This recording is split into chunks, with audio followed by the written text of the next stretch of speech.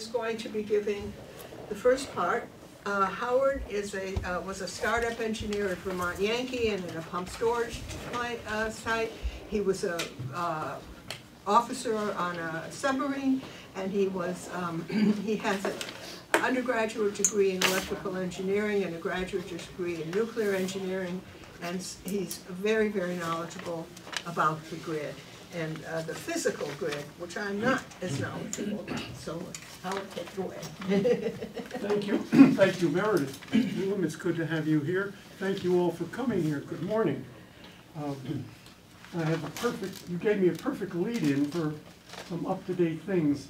I went online this morning and looked, and there was an article in one of the electric industry trade sheets uh, saying that Energy Secretary Perry is concerned about the grid collapsing.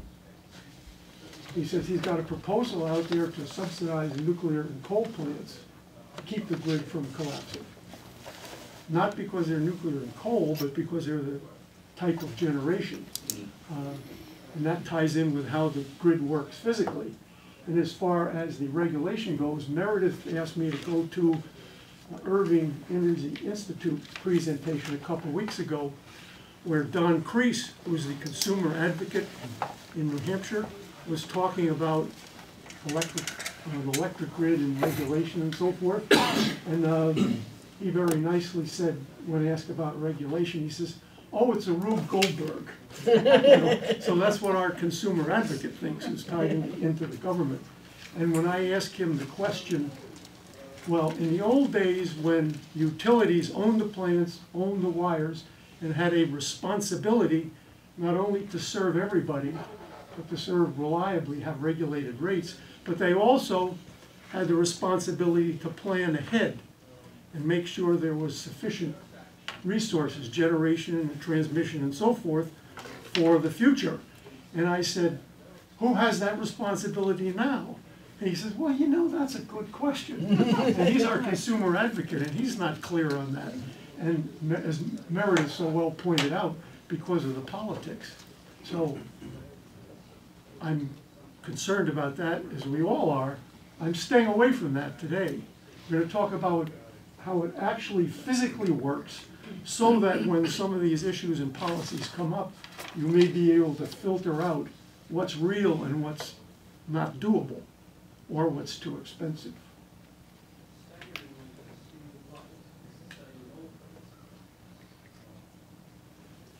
Quick review of terms.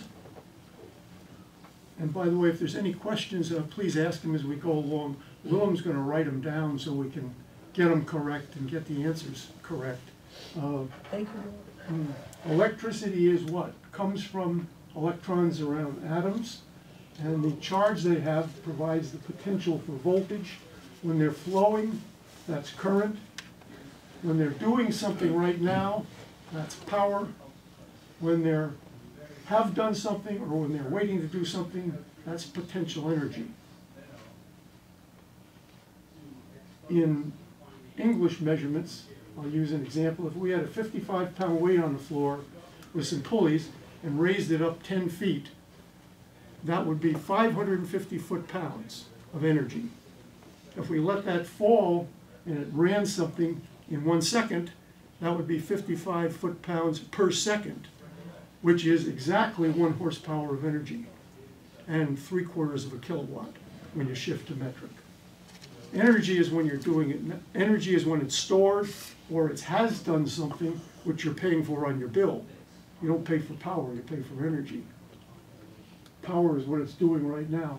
These terms are not often used, are often not used carefully in the media. They mix power and energy and so forth. AC is electric current flowing back and forth, DC flowing continuously in one direction. Creating, of course, the ways we all do it, many ways. Transforming an electric power means changing the voltage from high to low, low to high for efficiency of transmission or safety, depending. One of the safety ones we all have in our house, little tiny transformer somewhere that steps down the house voltage to about twelve volts, I think, for your doorbell.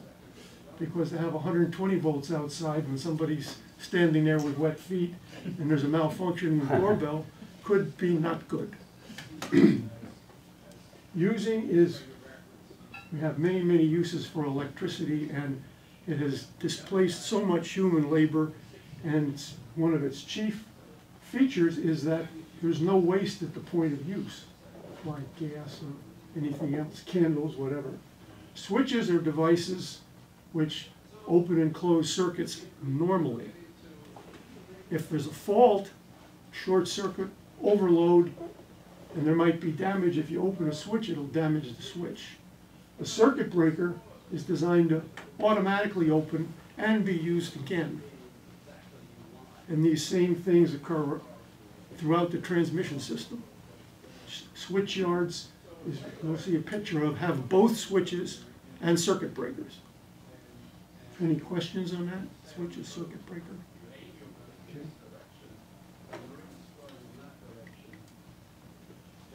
For reality, I thought I would include, with Merit's approval, of course, this flow chart of energy in the US done by Lawrence Livermore Laboratory in California, which was an outgrowth of the uh, Manhattan Project and still continues as a, doing many scientific things for the government, as do the other laboratories that were formed for the Manhattan Project, as you probably know. Uh, They've been doing these since the early seventies, and it's very useful for me, and I think would be for you too. It shows all the different kinds of energy, Does this help people? Yes. Okay, and yeah. it's, it's got a flow from left to right, which is the way we're used to reading. Color coded for the different types of energy, and the sizes are roughly proportional to the amount of en- energy involved. Okay? The units are in quads, which is quadrillion BTUs, but, which are heat units, but they can be converted to electricity or horsepower or whatever you want. Uh, It's the relative amounts which are important. And there are numbers throughout, so you can quickly see what the relative uh, parts are. So this was 19, uh, 2017 for the entire country. They also do them for the states, but not every year. You can look them up online again, the way I did yesterday. And the last ones for the states were in 2014. So they'll probably be doing them again soon, I would guess. Uh, I would imagine the reason they don't do them every year is because of the expense. Gathering all the data. Howard, can you Yes, explain rejected energy, yes, of course. since it's there? That is what's wasted, and that's very important in the discussion. Uh, For instance, in electricity generation where you're using a heat engine cycle, whether it's a steam turbine or a diesel engine or something else, or your car or your lawnmower, limited by the second law of thermodynamics, you can only get so much efficiency depending on the high temperature you can achieve. So you wind up with about two-thirds, if you look at the numbers, 31.1, 66.7 total, two-thirds goes to waste. And that, what winds up in the environment. Can I make a Yes. comment on that? I just wanted to, to say that, um, uh, this is the ultimate heat engine equation, and it's pretty simple.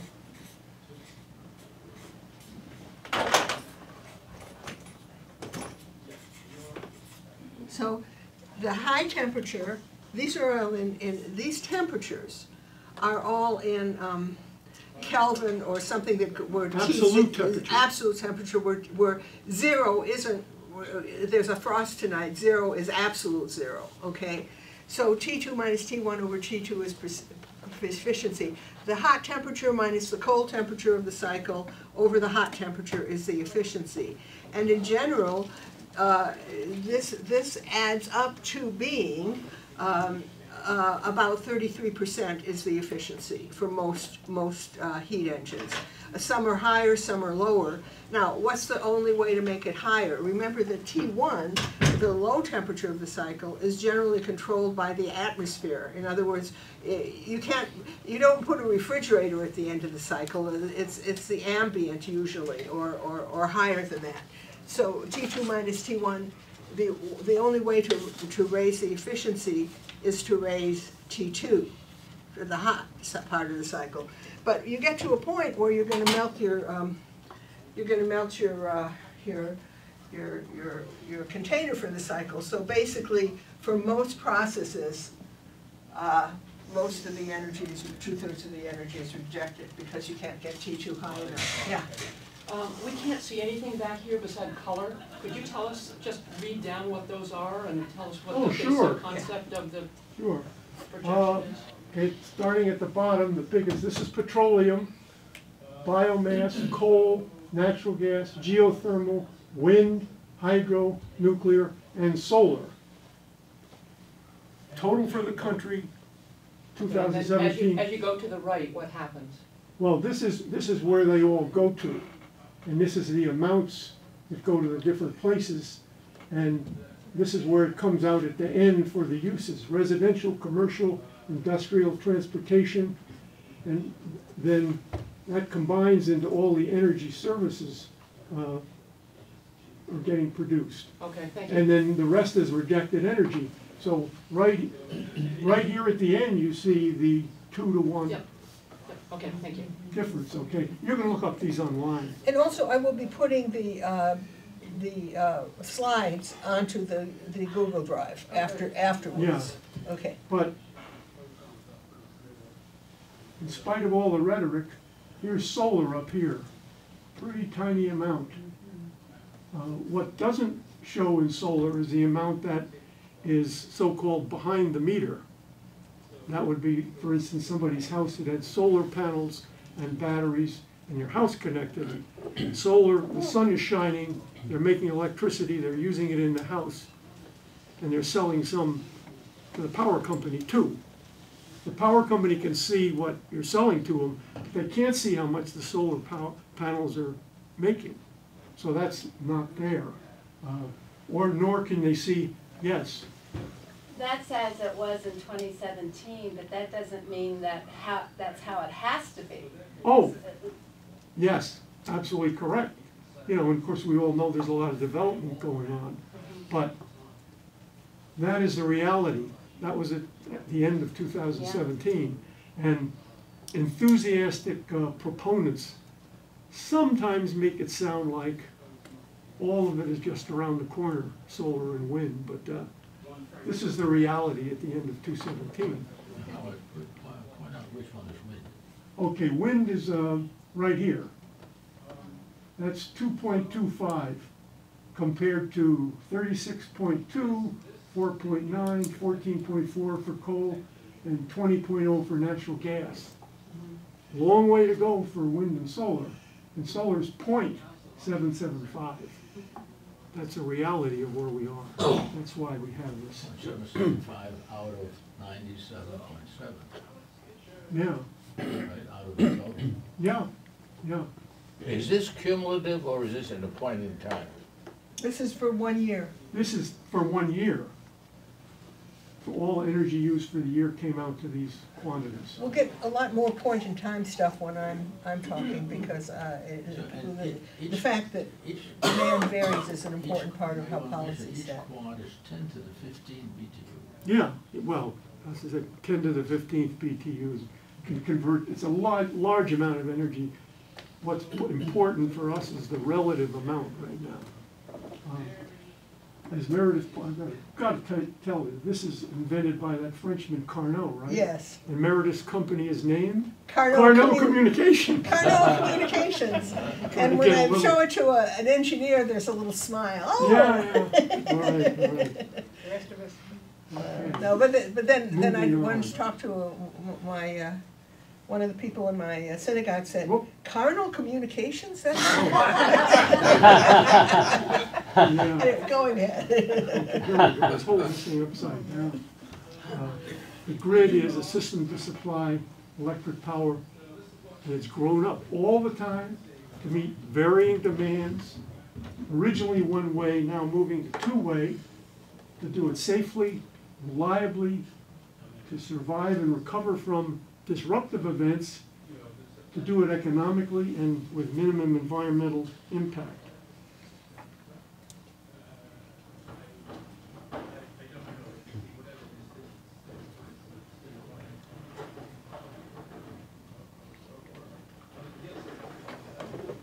It's a system of power generation and supply to end users, and now also a purchaser from endpoint generators.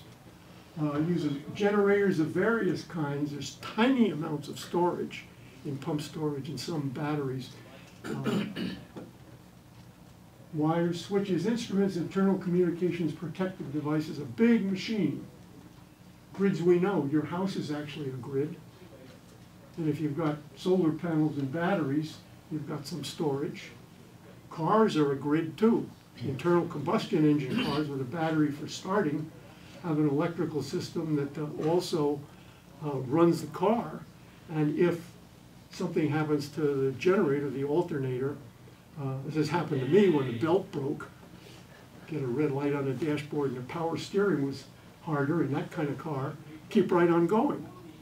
Because the battery instantly picks up the current.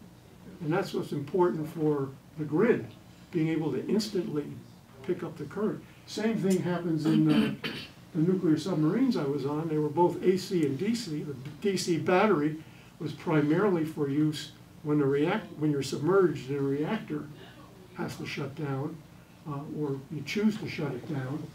Uh, the DC picks up instantly, and then you can turn around and charge the battery. Those are grids we know.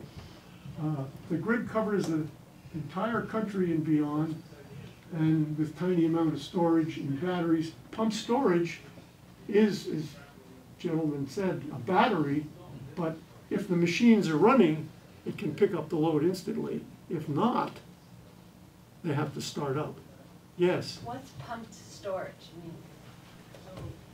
thank you for asking.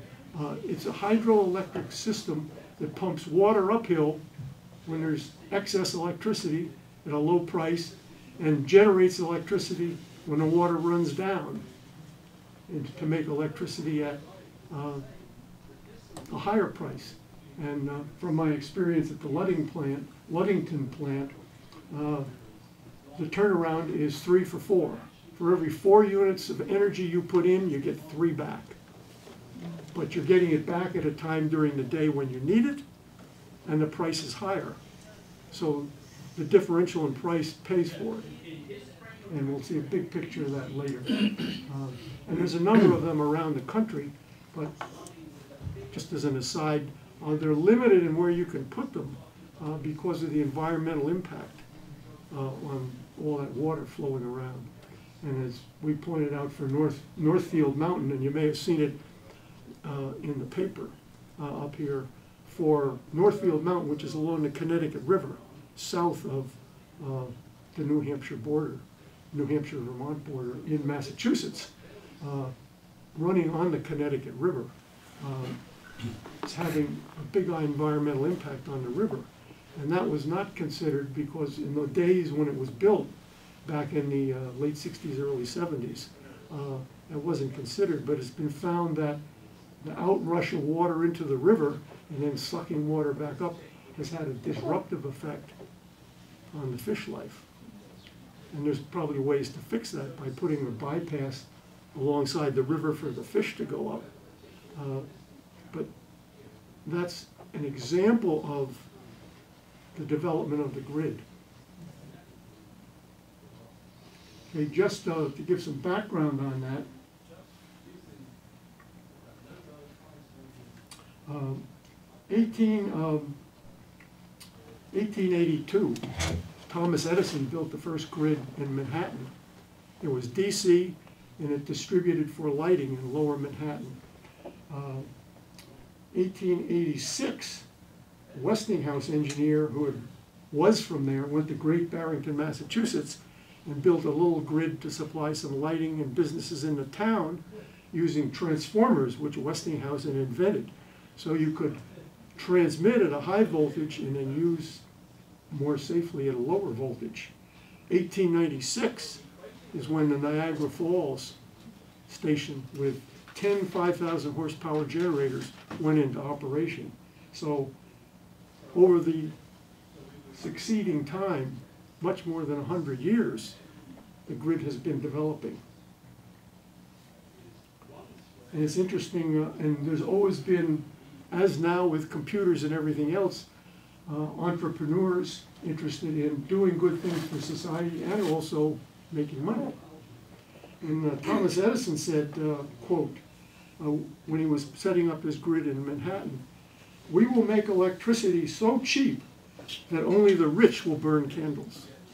it Kind of reminds me of uh, Too Cheap to Meter in the nineteen fifties. Yeah, yeah. Anyway. Okay. Let's go on. Okay, here's a map of one grid, mo- uh, mostly not the highest voltages, uh, from FEMA. You can look these up online. This is just to give you an idea of the extent of things and the way the grid is distributed. Obviously, the, uh, denser grids are where you have greater population and also greater industrial activity. Here's another one at higher voltages, showing the different connection areas. Uh, And then this last uh, shows proposed DC links.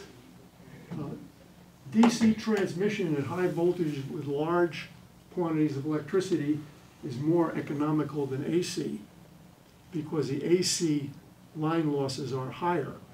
Due to the AC, it can act like an antenna and broadcast energy out.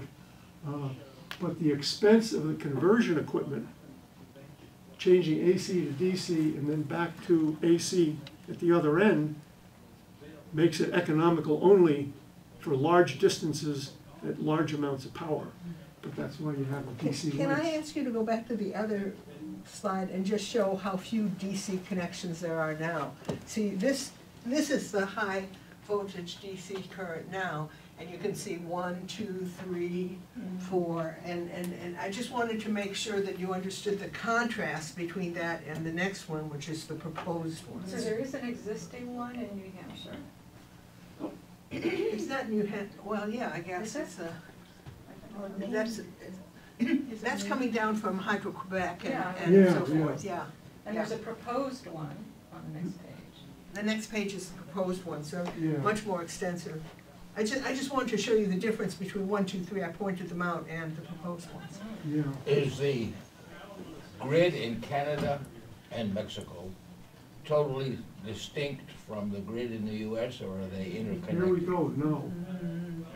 The eastern interconnection where we in New England are part of is, as shown on this map, we are tied in with Canada, eastern Canada.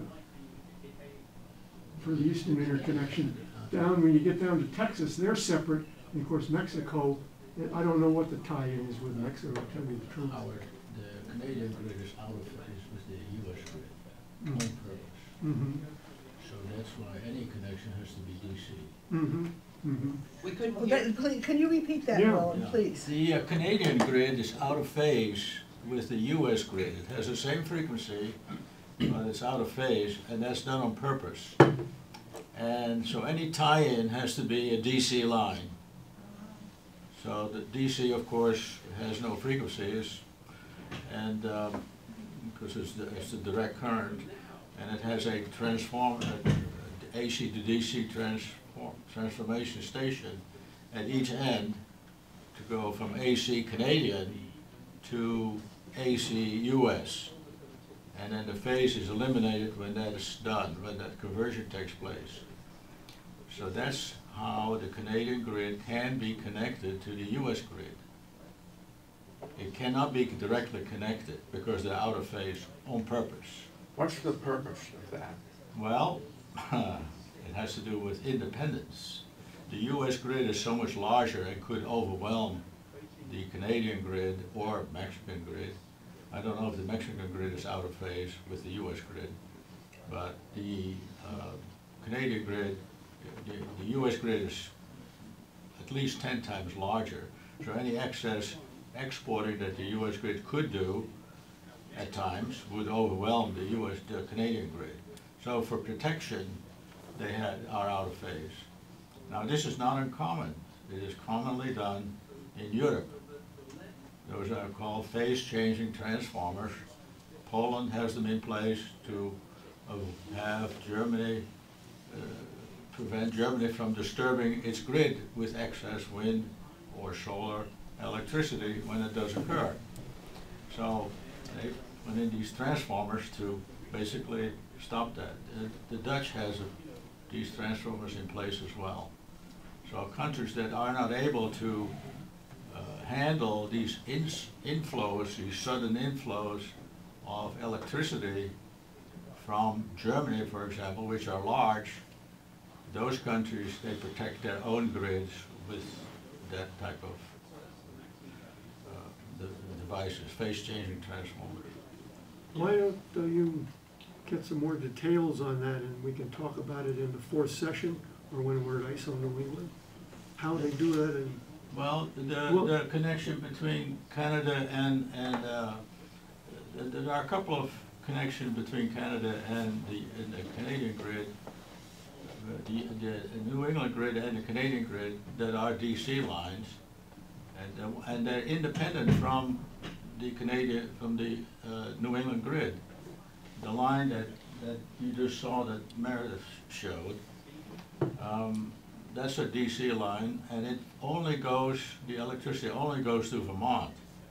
It is not seen, you know, not monitored or seen by. In other words, it's not part of the New England grid, it's a separate line that operates on its own. And there is a wind turbine system in northern Maine that is not connected to the New England grid. It's connected to the Canadian grid because the New England grid doesn't reach that far north. So in order to connect the output of that wind turbine system to a grid, it had to connect to the Canadian grid. So that's, just a little curiosity. Yeah. yeah, yeah. Getting down into the weeds and the tails, but thanks, Walt. As, as long as we're in the We'll weeds. talk some more about that in the long fourth as- section. As long as we're in the weeds, I want to do a little circle here. This is the territory of ISO New England, okay? Hmm. Just a little quick circle. where- Yeah, where- the blue it is. area. The blue area, Yeah. okay, sorry for Yeah, the but notice up here in Maine, Right. the very New eastern Brunswick. part is actually part of New Brunswick. Yeah. As you, Connected, connected to the New Brunswick yeah, grid, as you yeah. said, because There of is- there is- geography. That's right, there is no connection between the Mm. New England grid at that point. Yeah. Talking, talking about wind, uh, you'll often hear, oh, yes, go ahead. Oh, no, I was scratching my head. Gee, they they started wind at Grandpa's Knob in Vermont. Why didn't we have that right away, you know? That was nineteen forty-one, and it was for proof of principle. And it was, of course, during the war, and it broke down and was not fixed, and they didn't pick it up after the war. And at that time, they found out that, uh, or could calculate it rather, based on the little bit of running it did, that uh, they could supply energy to the grid with wind, but it was gonna be more expensive than the other, it still is, but, uh, so it didn't go further. It was a very crude, it had a sixty cycle generator, and to make sure that it always generated sixty cycles, they had an operator up in the housing with the generator adjusting the angle of the blades.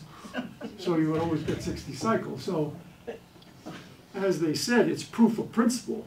It proved you could do it, but there was a lot of development needed beyond that. Oh, sorry. Had the thing up again, upside down again.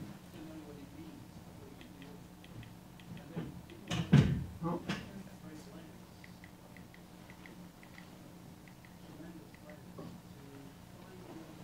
The grid components, generators, sixty cycle, fifty cycle in Europe, all kinds of drivers. Water, hydroelectric, gas, from pipelines, from cow power, from landfill, steam turbines, coal, oil, gas combined cycle, nuclear, biomass, diesel engines, non-synchronous varying speed, wind turbines, but the output has to be sixty cycles to match the grid, so it's converted uh, electronically. And variable, variable speed pump storage in some places in the world with uh, very high elevations. Uh, Then you've got AC to DC AC, as we talked about for transmission, and solar panels making DC, which gets converted right at the house to AC for use in the house and going on the grid. Uh, Then you have the category of demand resources. Those are things that can be turned off. And if you need extra power on the grid, you can either supply some more generation or turn something off, just as you would in your house. And there are factories or even homes where the grid can control that and shut off the factory when they need it, or shut off the home, uh, or some of the home. I just want to say that in general, the grid operator, the, this does get into a policy a little bit, that unless they're what they call shedding load, that is, the grid is in trouble and they're turning things off, uh, if you are a factory and uh, you're willing to be shut off, uh, you get a deal on that. In other words, you're paid as a demand resource as if you had been a, a generator. Okay, so the demand resources bid in, uh, big demand resources like a factory bid into the, the, the auctions just as generators do. Yeah, Moving, well- moving along from that, I just, I just didn't want you to think that the, the grid operator can shut off any factory anytime they want to. They can if the grid grid is in great trouble, but to balance it, eh, the, the factory has to say, yeah, I'm a demand resource, I'm, I'm bidding into that program. Yeah, and that's, A, a basic question, use the term cycle. What do you mean by cycle?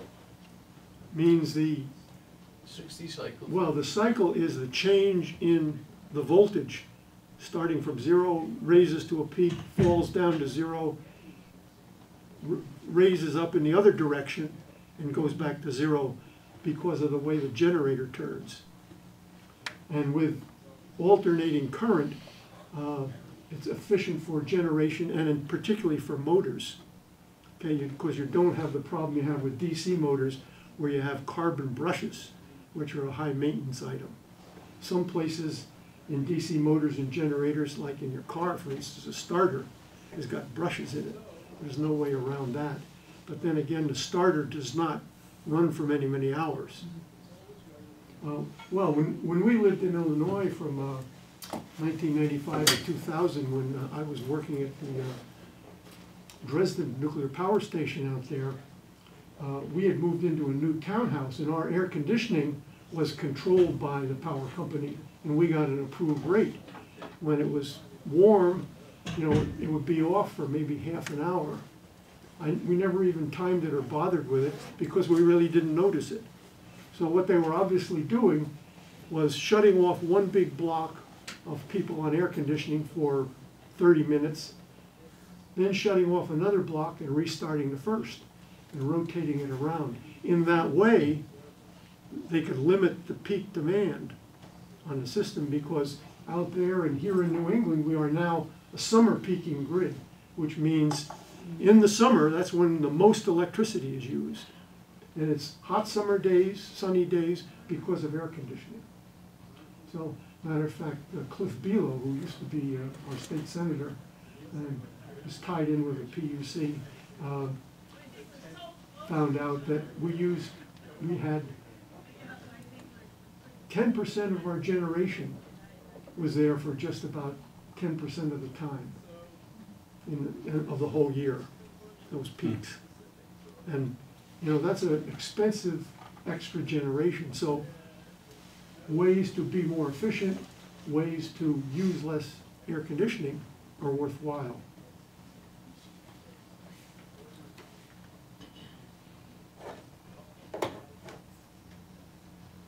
See if I can get this right. I'm gonna show some pictures of some hardware, just to give you an idea of the size and scope. You know, when people talk about changing to something else. Uh, We're gonna be abandoning, uh, or replacing something that's, with something that's equal to this. This is the, uh, rotor for a steam turbine. Okay, acts like a pinwheel, the steam goes through it and makes it turn around, but you can see the, um, the people in there, relative size. This would probably be, uh, from something like this, which is a large steam turbine for generating electricity. Uh, those big rotors would be under the yellow hoods, and then you have a high-pressure turbine here. But this would be in the million horsepower class. At what temperature is the steam? Million, kil- million megawatts. huh? Uh, well, a million megawatts, or no, a million kilowatts. Thousand kilowatts, megawatt, thousand megawatts, Thousand yeah. megawatts. Thousand megawatts. There is only one temperature for steam unless it's under pressure, right? Oh, yeah, no, but it's under high pressure to get the energy out of it. T two, keep Yeah, raising that they're T two. Way up there. Uh, I can't remember right now, but you're talking uh, nine hundred thousand degrees, way up there. Um, Okay, more big hardware. Uh, These are hydroelectric generators, many of them, uh, limited really by the size of the water wheel. Uh, Here's a wind turbines with the associated switch yard. This is a high voltage transmission station, you see these around. Uh, Lots of big hardware, and you can tell the voltage by the length of the insulators. The higher the voltage, the more insulation you need. Here's an AC to DC converter. You can, You can see the people. yeah, see the people, you can tell the size of it, you know. What are those things sticking out of it What, what, that look like uh, guns on a ship? Yeah, well, those are insulators. Okay. You know, you need long insulators because of the very high voltage. Typically, you're at a million volts DC uh, for efficiency of transmission. Here's some, one thing you see locally, a local transformer to get it down for use. We have a couple near our house. Here is our grid in New England, uh, it shows the tie points uh, to our neighbors and to the eastern interconnection. Uh, We're an island electrically with bridges which are limited in capacity, okay? We can share either way, but uh, I believe that all those interconnections couldn't supply all of New England by any means, and they weren't intended to. Uh, Interesting story along uh, that line. In nineteen, early sixties, uh, early fifties, and the late fifties, when the government was promoting nuclear power, uh, utilities in New England got together and said, you know, we're an island, and electrically and energy-wise, we're at the end of everybody's pipeline. We don't have any coal, we don't have any oil, we don't have any gas, so we gotta bring all that in from outside. Why don't we try out nuclear power? So they did, they formed the, uh, the Yankee Atomic Electric Company to develop New England and built several plants. But it was true then, it was true now, we're at the end of everybody's pipeline. Now it's natural gas, which is doing most of it. Okay, Moving on. Here's a schematic from ISO New England of the smart grid. Uh, Did anybody get a chance to read up on the smart grid, or, the government's got a website on it. What the smart grid means is, the federal government has a website on it, which is very instructive. What smart grid means is distribution wires the way we have now, but not only two-way flow of power, but two-way flow of communications. So not only the endpoints know what's going on, but also the dispatcher knows what's going on and can control things throughout the grid. Um, We'll get to, not only using the example of our air conditioning, uh, we'll get to the point where uh, they can control other things or send you, send you signals to your house about what the price of power is. So you can decide whether to turn a washing machine on or not. Or you'll be able to program it so that it can come on when power is cheap. I know some friends I worked with in California from Germany said, ah, for years, we've had red and green lights over the washing machine, you know, high cost, low cost, you know. So there've been all kinds of efforts for many years, but that's a smart grid. Now, the grid that is, uh, it's developing from, and this is showing it in a developed condition by ISO The attributes are kind of generation we have now, wind, of course, you can call this pump storage too. And this central plant would recognize, uh, represent all fossil and also nuclear, any kind of central station generation. Then you have transmission, high voltage transmission, transforming low voltage local uses. You've got grid connected solar power, a number of which are in use right now, commercial size uh, solar installations just for selling electricity to the grid. What's not shown here is grid scale batteries, which are under development. Uh, Matter of fact, the uh, Elon Musk company is running a hundred megawatt one in Australia right now, tied in with wind as a demonstration. Uh, This would be a demand resource here, it has its own generator, and can also be turned on and off. This customer is not a demand resource. Here you have houses, solar panels, cars plugged in, and you can assume batteries in all those houses too. Um, Perhaps we'll get back to something that the um, power companies were doing in the early part of the twentieth century. They would sell you a water heater or a stove or what have you that was electric. And you would essentially be renting it from them, but they were responsible for it. Uh, Why, I, and of course they had to repair it too. I don't know why we couldn't go back to doing the same thing with batteries in the houses, because the homeowner is gonna need somebody to help them with the service of all those things. And the other thing which I think we'll see in the future, not only electric cars plugged in at home for charging, but you'll see them plugged in at work. Not so much for charging, but with many, many cars plugged in, they'll be able to back up the grid too. And of course, with computer control, you'll be able to determine how much energy is available from all those batteries in all those cars. And if the dispatcher draws from those cars while they're at work, then the people will get paid for it.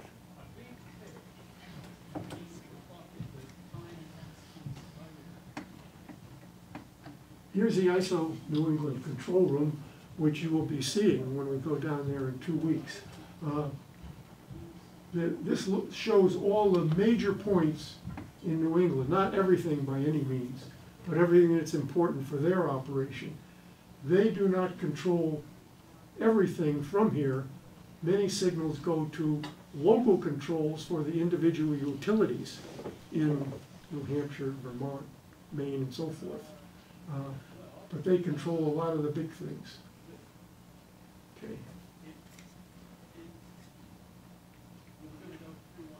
Grid management must take into account the following.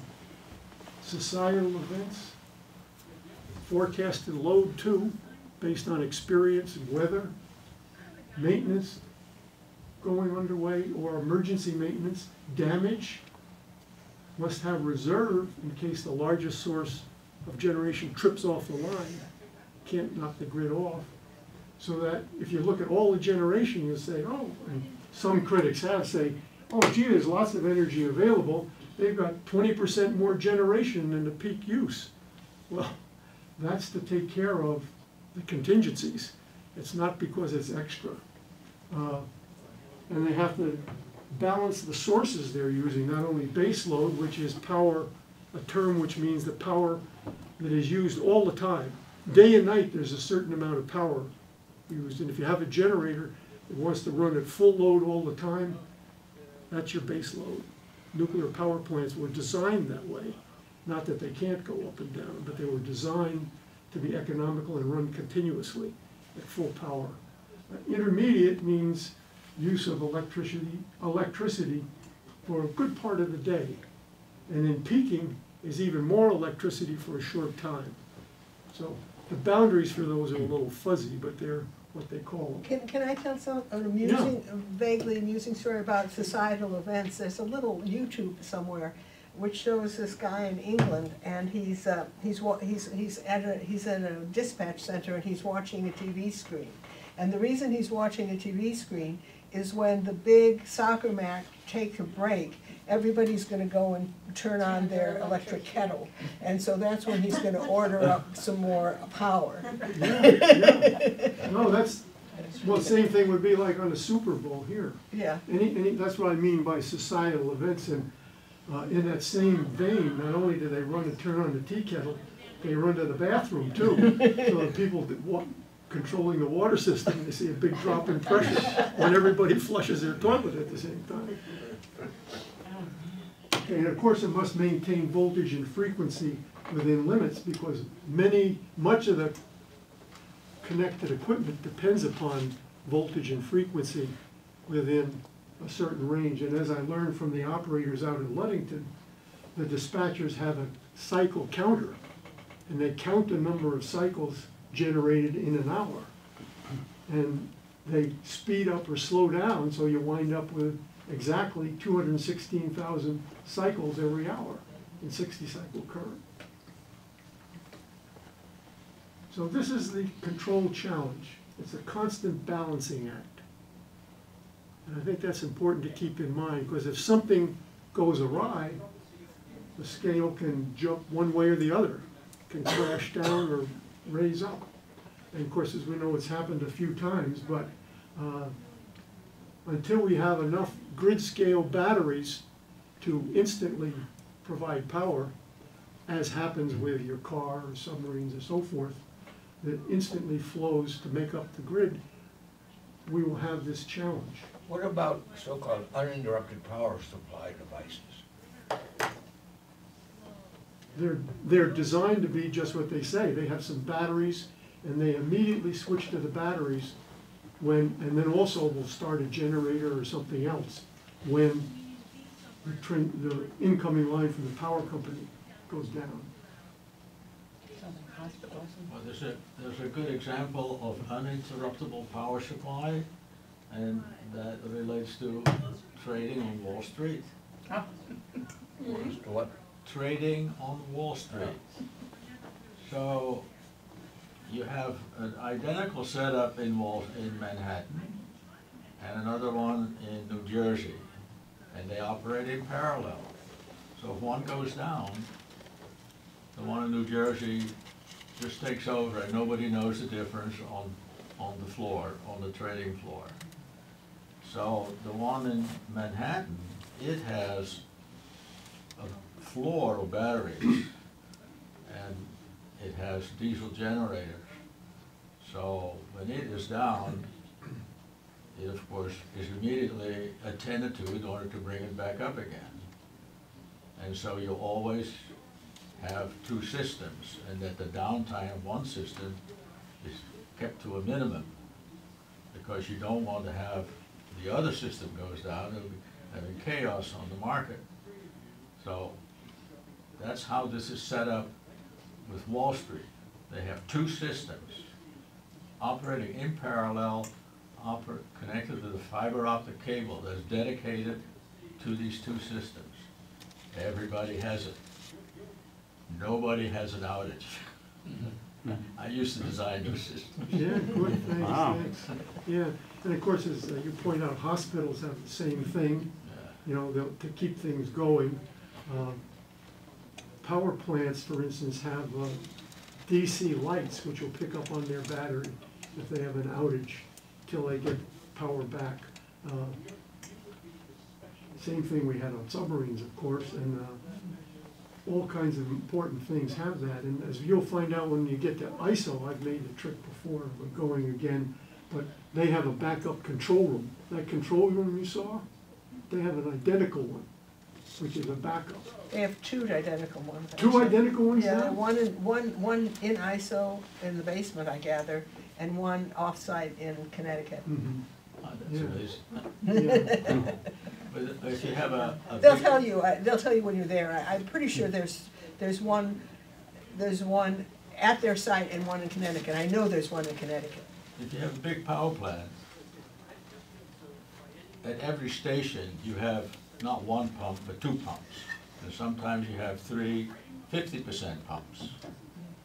Now, if one pump goes down, they have another pump in the warehouse that immediately replaces the pump that is down. It's done overnight. They don't want ever having any equipment down. It's belts and suspenders in the utility industry.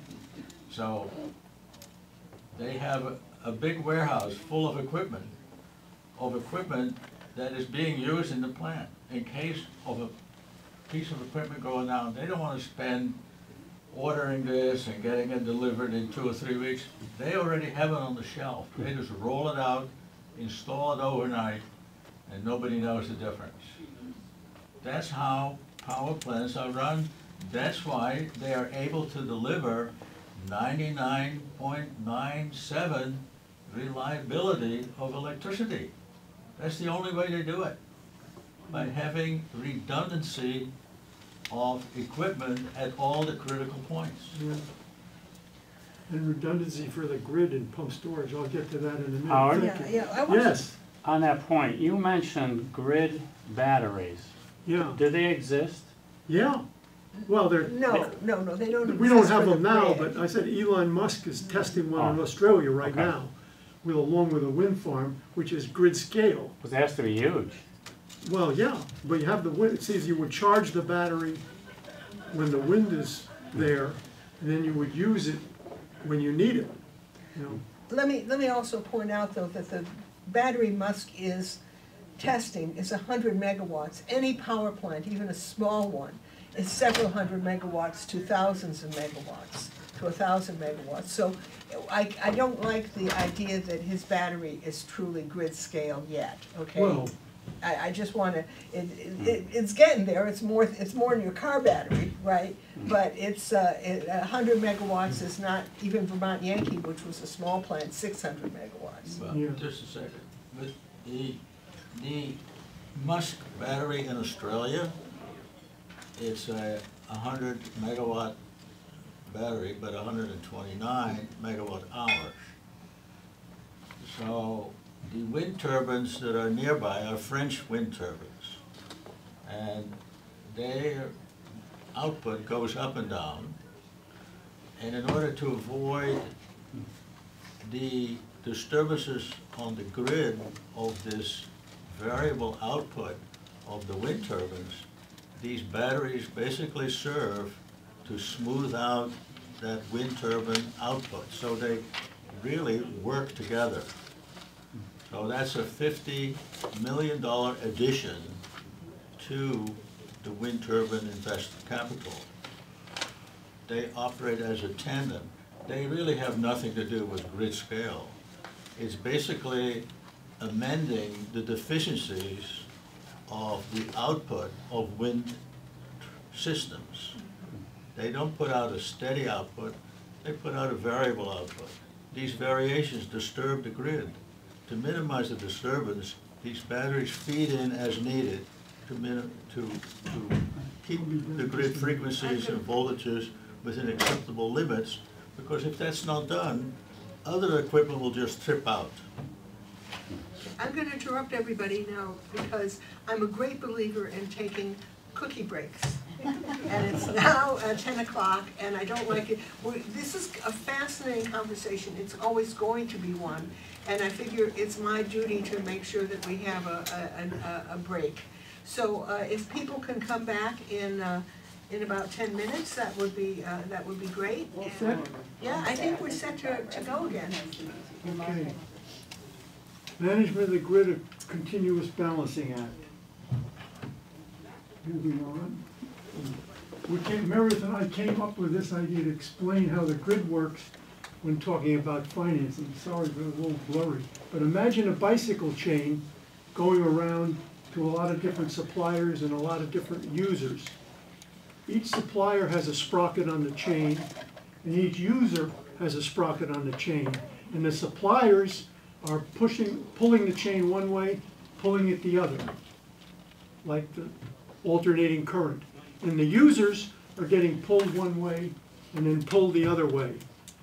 So a use, a user on this side and a supplier on that side are only experiencing the chain. But the accounting fiction is that you can buy power from that guy on the other side. but that's an accounting fiction. You're paying the amount that he charges and you're getting it. But nothing's coming from that plant to you. Okay, it's only the chain that's transmitting, so that's an accounting fiction. You know, and there's some uh, deals that power company has, oh, you can buy green power from down in Connecticut or something else, you know. It's not coming to you, it's just pushing the chain, or pulling the chain. Okay, this Ah, is, beautiful. yeah, this is the Ludington Pump Storage Project in Michigan. At the time, uh, I was there as the lead startup engineer for the building. When it was built and went into service in nineteen seventy-two, it was the largest in the world. Now there's ones that are bigger. Eastern shore of Lake Michigan, uh, that's the lower reservoir, that's the upper reservoir. That road is six miles long around there. Wow. Huge plant. What's the elevation difference? Uh, the elevation is about three hundred and sixty feet different, so it's not very high elevation. Because the elevation is not high comparatively, as Willem points out, the generators had to turn at 112 and a half RPM to be the most efficient speed uh, for the water wheel. Uh, This plant was connected to the three hundred forty-five thousand uh, volt grid that connected Michigan, Ontario, northern Indiana, and eastern Illinois. Thank you. Okay, so at nighttime, when they were pumping, they were getting power up from the nuclear power plants down south uh, to pump up. And in the daytime, they were generating as needed uh, to support the grid. Plant was also designed for black starting, and as gentleman Pank pointed out, all that water up there is like a battery. Stored energy, so that with a diesel engine, you could get enough electricity to start up the first machine and start using that water and generating. Then that generator could start other generators in the powerhouse and re-energize the grid. It, it's not only pump storage plants which are designed to black start the grid if the whole grid goes down, which has happened on a couple of occasions, but other plants have diesel generators, uh, not pump storage, they're small uh, gas plants and oil plants which can start up rapidly to, to energize the grid. Then the bigger plants, which require grid power to start up, can start up. What's the name of this place? This is Ludington, Michigan. Okay, you can look it up online, Eastern Shore of Lake. There's something like this in Northfield. Yeah, Northfield, Massachusetts. Massachusetts, but it's much smaller than And Northfield. Bear Swamp in Massachusetts, in uh, North Adams, Massachusetts, too, yes. Have they had environmental problems with this? Some, some. Uh, From what I picked up, there's been some leakage from the reservoir out underground, and you see there's farms and stuff around here. And nothing much on the lake because it's so big, although when we were first using it, when you had the uh, trout migration up the lake, because they're, uh, they're- they're seeded from fish farms into a river upstream of the plant, or up the lake, so a few of those fish would get caught in here, and the environmentalists were upset, it was kind of amusing to us. Because when you went upstream, when those trout returned to the place where they had been seeded, fishermen were up there pulling them in left and right by the hundreds. You So the plant was taking a, one or two or three away, and the fishermen were taking hundreds, so. Uh, but because of the large size of the lake, there hasn't been any other environmental problems that I know of. Okay, moving on. What's the head on that? Uh, I think just three hundred and sixty feet, which is not great for hydroelectric, but uh, that's the best they could do at that location. Uh, If, if the elevation was much higher, if the difference was much higher between the powerhouse and the reservoir, then the reservoir could be smaller for the same amount of power and energy. Okay, this is just a quick illustration of the effect of solar on the grid. This is when the sun's shining and you're getting solar electricity. This is what the demand is otherwise. This is what it would be, the dotted line without solar. And of course, when solar stops, then the dispatcher has to be back to the normal demand. Okay, just quickly, a few things on commercial batteries that are going on. Uh, these are ten megawatt hour batteries. There's a town in Massachusetts that has a battery system which will supply the police and, uh, town hall and other things in town, as well as a good bit of the town offices if the grid goes down. But they also sell back to the grid. Uh, This is a commercial representation of what somebody believes can be done with solar power. When the sun's shining, you're charging batteries. It takes a lot of solar panels and a lot of batteries when you talk about grid scale, and that's something that I don't hear talked about much. Okay, fine, how many of these are gonna be required? Where are they gonna be? What'll be the environmental impact of building them? And what's the cost?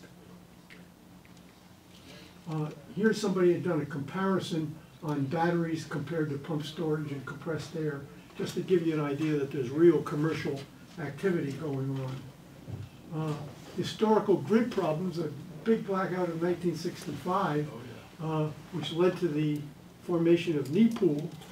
Um, My wife was in New York City for that, and I, I I was out to sea on a submarine, so, but uh, I didn't experience that. But the- What? You had power. Yeah, we had power, right, and it was very interesting, that was the whole Northeast. Two thousand and three was the North Central blackout, started in Ohio, New England disconnected as the grid started to collapse and kept going. Uh, Two thousand eleven, big storm with many, many lines damaged, and just mentioning the Lowell Mountain Wind Farm, when it first went into use uh, in Vermont, uh, it couldn't come to full power because of disrupting the grid at full power. You know more about that, Willem. Uh, In order to come to full power and make the governor happy, political interference here, uh, they had to put in a synchronous condenser to tune it up to match the grid and either, and put in another line too, as you said, right? This raises the point that people say, well, we'll do solar here, we'll do wind here, and so we'll do batteries here. Yes, but it's not just like plugging in. There's more to it than that. In your house, you can't plug in everything everywhere, or you can't take a electric stove and plug it into a one twenty outlet. You know, there's only so far you can go. That's the point of uh, including that in this discussion. Quickly on grid security, of course, vulnerable to cyber attack now. Carrington events are suns, sunspots, which when you have a sunspot and a big eruption of material that comes to the earth, uh, it'll generate power in the transmission lines, which act like the antennas, and it can damage equipment and cause quite a bit of damage, you know. We're in the process, I believe, of making changes, but these are very, very rare events. The first one was before the Civil War. Uh, Then in nineteen eighty-nine, there was one that caused equipment damage in Quebec. And some other time, there was one that uh, caused uh, damage in South America. I believe the damage is more severe close to the poles because of the shape of the Earth's magnetic field. As you come to the poles, it directs uh, the material generation toward the poles. And political error uh, from getting, generating sources which can't be backed up, not considering everything. Can those sunspots be predicted? Not really, but they can see them when they happen. And it takes uh, quite a few hours for the material that's ejected from the sun to get to the earth. So that the light comes right away, but then for the, the material that's ejected takes time. Uh, In 2012, there was one, uh, but it missed the earth. Because if you're on the sun and the earth is way out, that's a pretty small target. And the eruptions from the sun can go in any direction. So there's odds that you're not gonna get them very often. But when they do happen, it can be severe. Okay, conclusion, the grid is vital to our lives and economy, it's complex.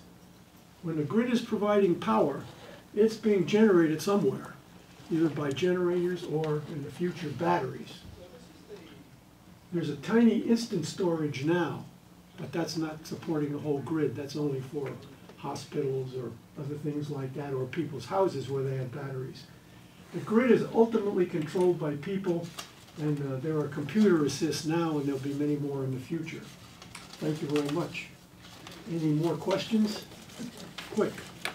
Is there any other line of work or any other business where a sixty-six percent scrap rate is acceptable?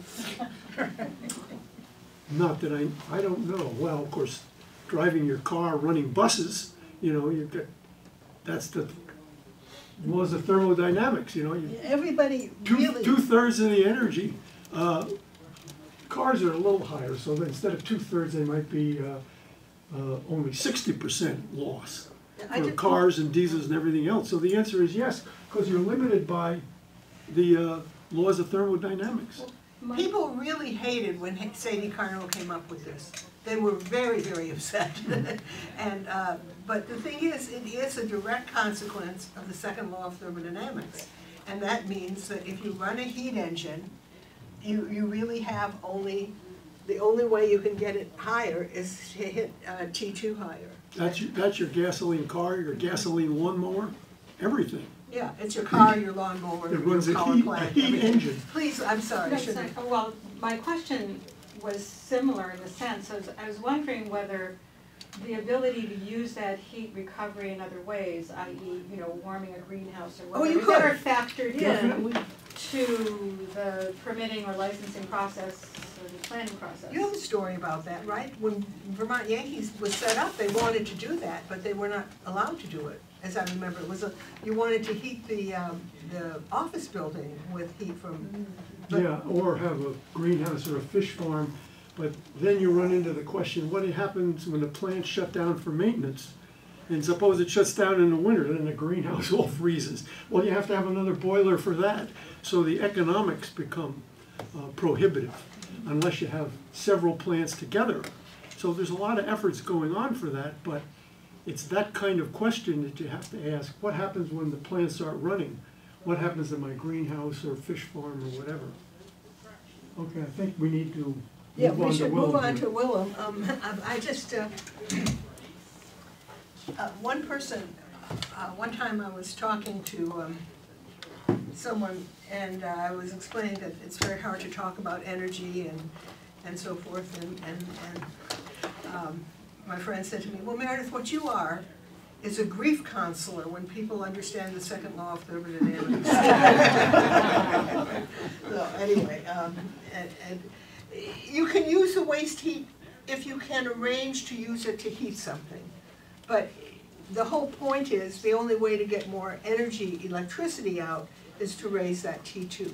And, and, and we're kind of stuck with our materials. Our materials can take only a certain level of T two. So that's an excellent question It's a great about using the waste heat.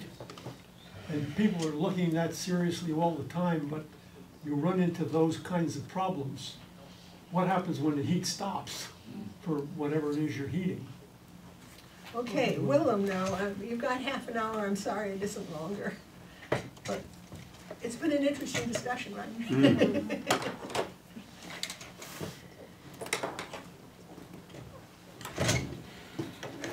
had, a- we had a little, um, overusage there, and now we're back on, on the, on the prediction line. So I will be needing lights.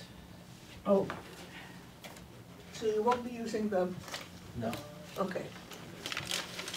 So, my name is Willem Post, and I've written a number of articles which are posted on a main website. The reason for posting them on the main website, because since I'm not perfect, I make corrections to my article and no one interferes on that site when I make corrections to my articles.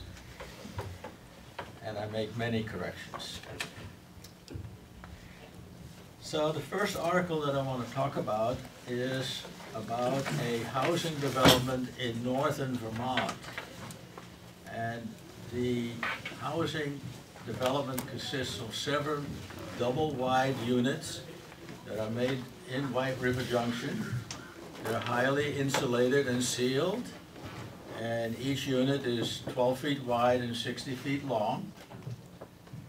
And and the next unit is abutted next to it, so it looks like a double wide.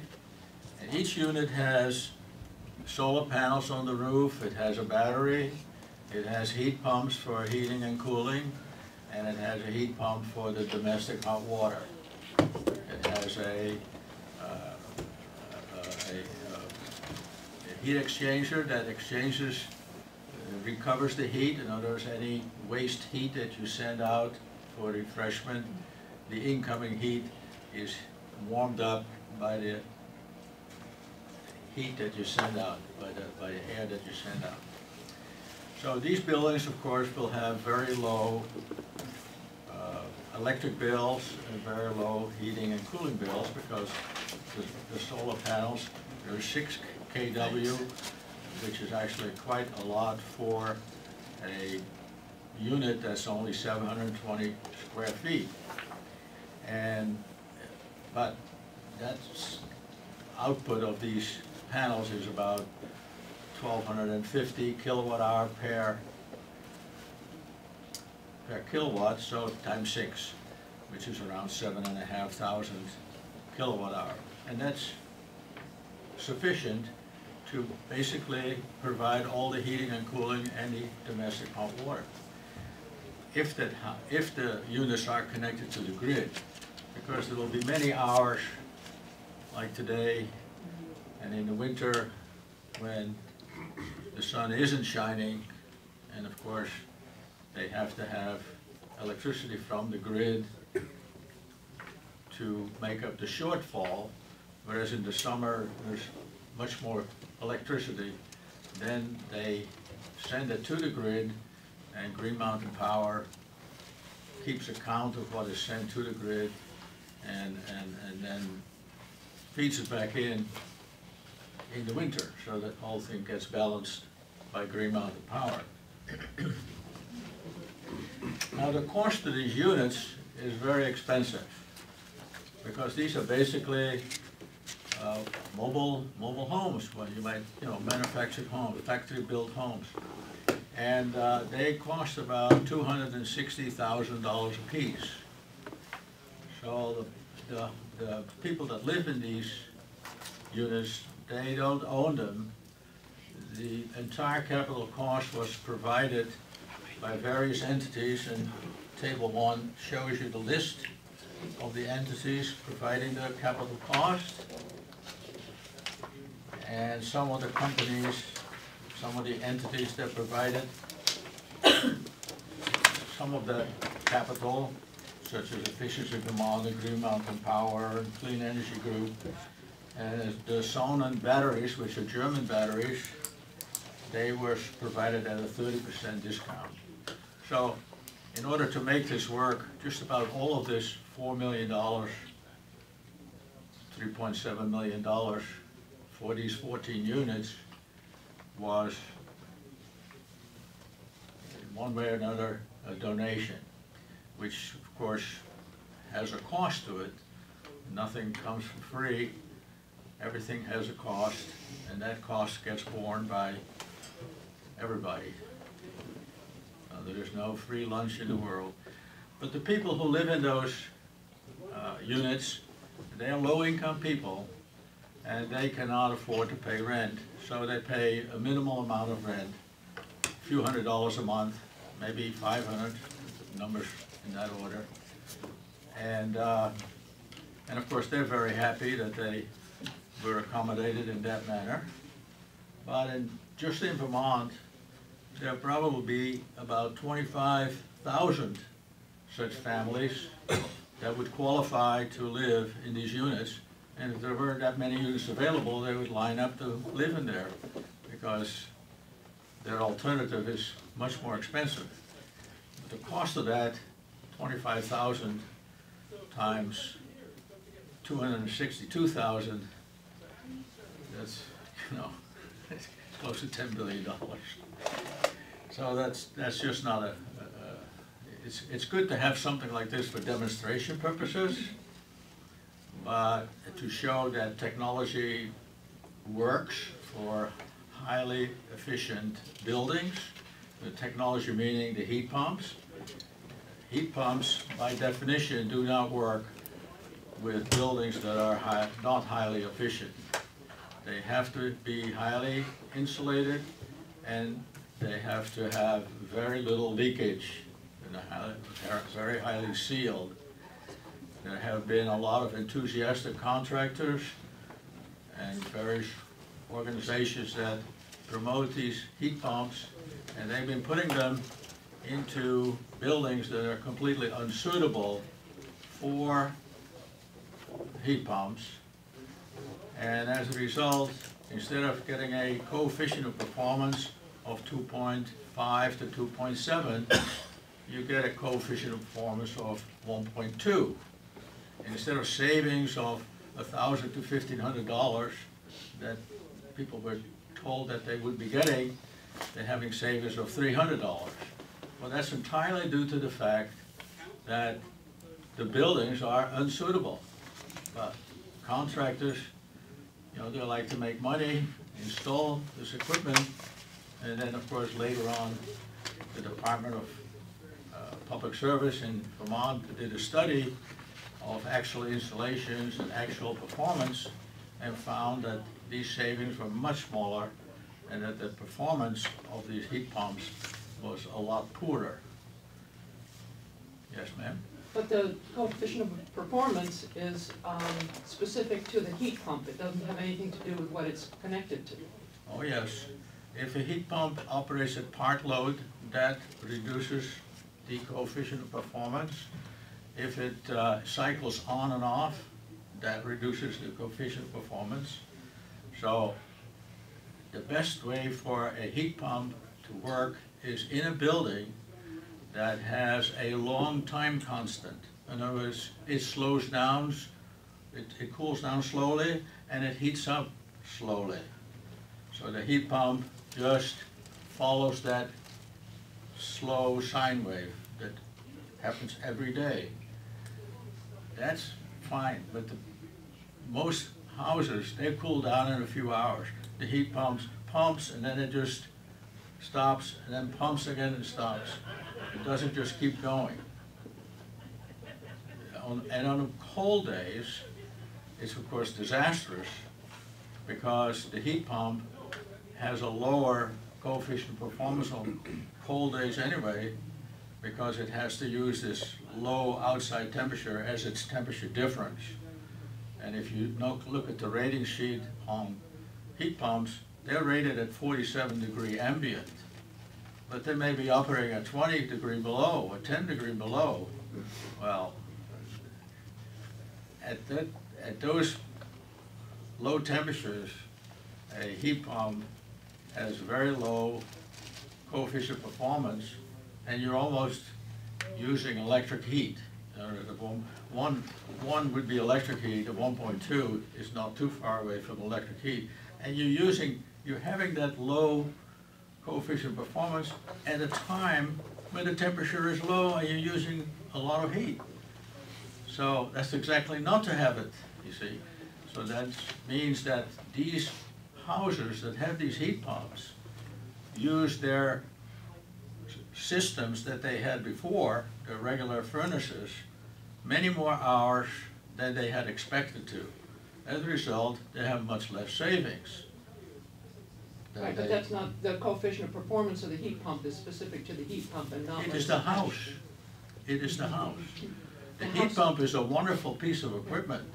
There's a lot of engineering went into this. There's nothing wrong with the heat pump. It's the house. Can I make a comment? It's also the outside temperature. Yeah, the The outside tem- coefficient of performance Oh, sure. depends Oh, sure. heavily Oh, on sure. the outside temperature. When the outside temperature is low, the coefficient goes down. Right, right. And I, I, I feel like we have to say that about heat pumps because it isn't just like, oh, it's got a one point eight. It's got a one point eight, as you said, at forty-seven degrees or whatever. Yeah, right, right. I, I agree, but it, I mean, it, it changes with the outside temperature, but it doesn't, it's not affected by what it's But that, but that's an additional factor. It is, if- it is in the overall energy use, I Yeah. totally agree with that, Yeah. but coefficient of performance is specific to the, to the Yeah. I, I agree. And, Okay, and the- if- in any kind of new built house, you should use geothermal. You just dig a big hole, eight feet deep or six feet deep, and lay down coils. The temperature is independent from the outside temperature. It stays constant throughout the year. And you, that is a much more efficient system because your coefficient of performance, it could be six or seven, not two point five or two point seven, but six or seven. So these geothermal systems, which are a lot more expensive, but they of course require very little energy for heating and cooling. So if you're building a big house, you know, not a small place, but a big house, you wanna go geothermal. And a, a new house, but an existing house that, well, my brother-in-law who lives in Norway, the Norwegian government dictated that everybody has to have, can no longer use uh, propane and, and, and fuel oil, etc., for heating their houses. So he put in a geothermal house, a geothermal system in an existing house, which of course is about fifty years old, and uh, is well-built and all that, but the cost was hundred thousand dollars. You know, so, it has a deep well that's over a thousand feet deep, and that well acts as a underground heat source. So in the winter, the heat is taken from the well and brought inside the house by the pump, and in the summer vice versa. In other the cold from the well is brought into the house to cool the house. And of course, the it- it works wonderfully, according to my sister-in-law. But they spend a lot of money. dollars. So, anyway, um, that, any questions about heat pumps? Yes. Is there a concern about air exchange if you have a highly insulated house to uh, support a heat pump? How, how do you get uh, adequate air exchange to prevent moisture buildup? Oh, You need to have, if you, if you have a highly sealed and highly insulated house, you have to have an air-to-air heat exchanger. In other words, you bring in fresh air and you send out stale air. And you, that heat exchanger basically heats up the incoming cold air and, and from the outgoing warm air. And those units are about eighty-five percent efficient. So that is a way of, of, of get, maintaining fresh air conditions in your house. And, um, it, it is of course better to have mini-split units that, you know, that, it's okay to have them, you know, they have part of their equipment's on the outside and, and one on the, oh, part of the equipment's on the inside. And, uh, it's, and they have no ducts the, the, for, for, it is better to have a distribution system in terms of ducts, because then you can regulate the amount of uh, heating and cooling that goes to each room. And you can also regulate the amount of ventilation from each room by means of the ductwork. And so that, that would be the better way to go. But that's, that you want to do that in a newly built house can't really, be very difficult to do in an existing house. So it's probably close to eighty percent of all buildings and houses that are really unsuitable for heat pumps, unless they have a deep retrofit. You know, you have to spend probably twenty, thirty thousand bucks to put in new windows, new doors, you know, the other equipment, the heat pumps, insulation, you know, R forty walls, R sixty ceiling, R twenty basement. This is the kind of thing you're talking about when you have a highly insulated and sealed house. And, and that's when heat pumps work fine. Nothing wrong with the heat pumps. It's just the house, they're not ready for this kind of sophisticated equipment. Well, not according to the contractors. The contractors, they of course think every house is ready for, for that equipment. Any questions? Uh, just a comment, we went, we went to a talk where a guy had done a deep retrofitting of his home and he had to take out a mortgage to do it. But the monthly payments were no more than what he was paying for all the energy he was using and leaking Yeah, before the yeah, retrofit. yeah. Uh, He, he, uh, he, he probably was much better off. If people live in a house that They were much more comfortable. yeah, yeah, much more comfortable, uh, you know, a lot of pluses. And if you live in a house that's an energy hog house, and you do a major retrofit, then of course, after that, you're in heaven. Everything is so much better. It's no longer drafty and cold, it's roasty toasty, and the heat pumps keep you warm, right? Uh, So, but that takes money to do this. If you go online and you say, well, we retrofitted this old house and, and did all this and that, they, that was major work, and usually there are subsidies from the state that help out to do this. And, and, you know, people doing this on their own, you have to have a very deep pocketbook to do this. But if you have a valuable house, you know, valuable building, architectural, uh, you know, you, a certain neighborhood, you wanna do that, and you have pocketbook deep enough, then you can do this. You can take Or that you, old or house you get a and. mortgage. Yeah, that's right. You can take that old house and turn it into a comfortable, pleasant place that is heated with heat pumps. You can. Can I make a little comment that, I- I'm not exactly sure how this works, but there is a program called PACE, P-A-C-E, which is a way um, to get mortgages for energy efficiency improvements. Um, It's not available everywhere, but it is available in at least parts of Vermont, and so you, you might want to look into it if you're thinking of doing this. My second article is on, is on electric vehicles. The issue here is,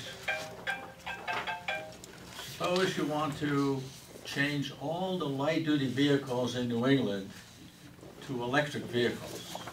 Just the light-duty vehicles. These are the cars, the minivans, the SUVs, the quarter-ton pickups, both short wheelbase and long wheelbase.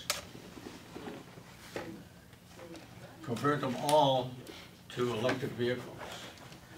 Then the increase in the load on the grid, which the total load on the grid in 2017 was about 122 terawatt hours. A terawatt hour is a billion kilowatt hour. So 122 billion kilowatt hours was the total load on the grid. If you take, convert all these vehicles that currently exist in all six states to electric vehicles, you would add about at least 56 terawatt hours to the grid, which makes the grid completely inadequate. I mean, of course, that's an, an extreme situation.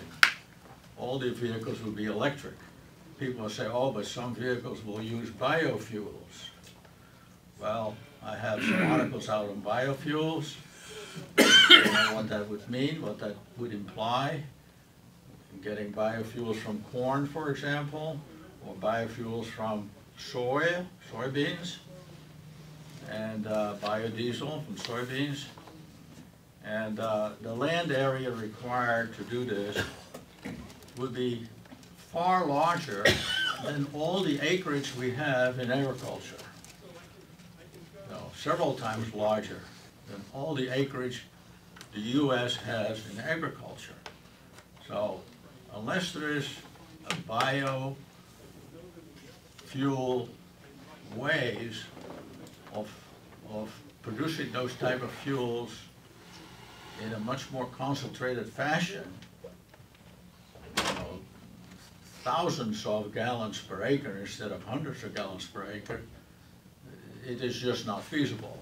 So, so to, to even think in terms of, oh, we will have biodiesel, we have biofuel instead of electrics, that's just not in the cards. In a, in a small percentage, you can have that, but not in any big percentage. There just does, is not enough acreage. Plus, the fuels just haven't been developed. I mean, there's no, you know, there's no, there's no kind of quantities that are not existing. And there's nothing on the horizon that even indicates that there would be existing. So you can't really rule those in. So you're, you're back to turning everything to electric. But then the electric adds to the load on the grid, which renders the grid overloaded, inadequate. So that's not the only situation. Gee. Because, because if you first insulate and seal all the houses, these deep retrofits that I was talking about, and then as you do that, also introduce the heat pumps into these houses, which would be logical, no question about it, and solar panels on, on these houses, so they would be producing some of their own electricity, or maybe all of it. Then you would add still a load to the New England grid due to the heat pumps operating, let's say in the winter, when solar energy from your solar panels on the roof is minimal. Yet your heating load is maximal, it's cold. So the heat pumps would place a big burden on the grid in the winter. Right? So it was already overloaded by just going from gasoline to electricity on your vehicles, by going from furnaces to heat pumps, it would certainly be overloaded even more in the winter. We're talking about requiring a grid that is twice as large. Now, if you do these retrofits, then of course you greatly reduce the amount of electricity that these retrofitted buildings would use. Because, you know, they're much more efficient. Probably cut that in half.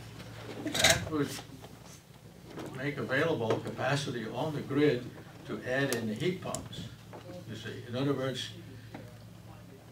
it is essential to deep retrofit just about all the buildings in New England in order to be able to use heat pumps. And it's essential to increase the capacity of the grid in order to be able to avoid gasoline and use electricity. Then the big other problem is, where would that electricity be generated? Of course, some of it would be generated on roofs, but some of it could be generated south of Martha's Vineyards offshore. But there are times when there is no wind and a snowstorm, there is no solar, all the panels are covered. So you need other generation or storage to fill in the hole. And the hole can be very big if you say, oh, all of our electricity on the grid on an annual basis is uh, from wind and solar. Well, when wind and solar are not there, you're going to have that big hole. And you can be connected to New York or to Canada, but they're not going to be able to fill that hole. That only can come from generators that are here or from storage. Right? We're talking terawatt hour storage. Storage that is not 100 megawatt hours, but a billion kilowatt hour, which is terawatt hour. We're talking multiples of those. Now, the current cost of storage is about $400 a kilowatt hour. So if you're talking about a billion, that's $400 billion for one terawatt hour. So you multiply that out times five or eight, numbers like that. People have made analyses of this. Uh, You're talking of trillions of dollars just for storage. Now, you can also use, of course, natural gas. There are basically three sources of natural gas. There's Pennsylvania, there is uh, natural gas from Louisiana, or natural gas from Russia and the Middle East and some other countries. And um, the one from Louisiana, that you cannot bring that in because of the Jones Act, which requires that the tanker would be US owned, it would be US registered, and US crewed. There are no such tankers in the world. So the Jones Act would have to be changed and, you know, investors would have to step up to the plate to buy tankers, et cetera. Right now, all of those are foreign ves- vessels. If the LNG was coming from Louisiana to Massachusetts, New England, so it's more likely that it would come from Russia, Middle East, or other countries. Now, the LNG is about nine dollars a million BTUs landed here. The gas from Pennsylvania is about two seventy to three dollars per million BTUs. The, from Louisiana is about five dollars a million BTUs, six dollars, numbers like that. Right now, we're getting a lot of LNG from Trinidad, but Trinidad gas fields are declining, so they could not possibly provide more of what we would need. This electricity for the, that we would need to generate for the uh, electric vehicles, that couldn't be generated with wind and solar, because people have to get to work. So there has to be a reliable supply of electricity to charge those vehicles. And that happens every day. So if you have a wind or solar lull of three or five days, you look outside, there's no wind, and there's no sun. So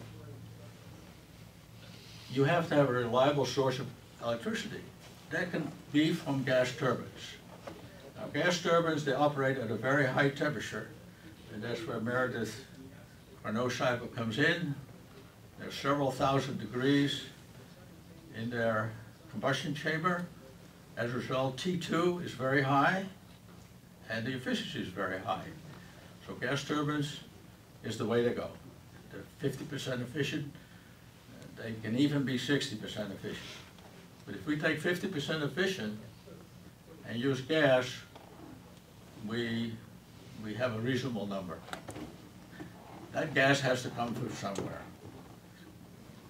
The gas turbines would be in addition to the existing gas turbines. Course, the electricity for the vehicles is in addition to the existing electricity. And the amount, we already know, it's about 56 terawatt hours. That, that's the amount that has to go, that has to be generated.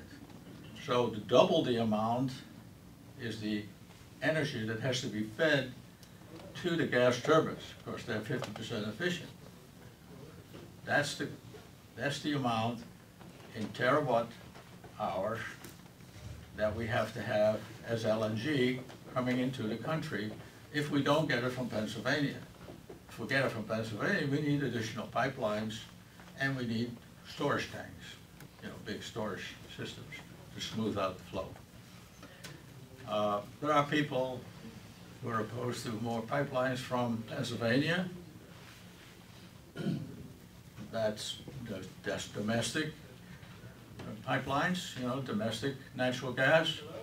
And they would rather have imported natural gas at three times the price. That would, of course, be very bad for the New England economy. We're not talking a small quantity here, we're talking a major increase in the electricity requirement due to going to electric vehicles. And that would, you know, New England already has the highest electric rates in all of the US. Continental And- and- US, hi, Hawaii's. Well, Hawaii, the continental US, so we're leaving out Alaska and Hawaii. And, uh, and, and that would make it worse, you know, using, starting using high-cost LNG to make electricity for electric vehicles. That would make that worse. So you know, it would be very much shooting yourself in the foot. Now, this would be very much in the interest of the Europeans and the Japanese and the Koreans, because they like us to be using high-cost energy. They are using high-cost energy because they don't have it. They have to import it. That's why they have high-cost energy. What do you think happens to us when we import our energy? It will also be high cost. It will be from Middle East or Russia, just like it goes to Europe from the Middle East and Russia. It goes, it would come from, from there to us at high cost, making us as a country less efficient vis-à-vis Korea, Japan, and Europe. These are our trading partners. They want us to be handicapped because it puts us not in a good place. You see, they want us to use high-cost electricity. We have our own energy, plenty of it. So we don't need to import, so we're at an advantage. And it's all domestic. Anything you import, that of course adds to the trade deficit, which is already bad enough as it is. So, people are advocating, but not seeing the whole picture. They say we want electric vehicles, but they don't realize what the impact will be on the grid. They don't realize what the impact is that you can't do it with wind and solar because you have to get to work. So you have to use gas because that's the most efficient. You don't want to use coal and oil, don't want to use nuclear, that leaves gas. You can use nuclear. Why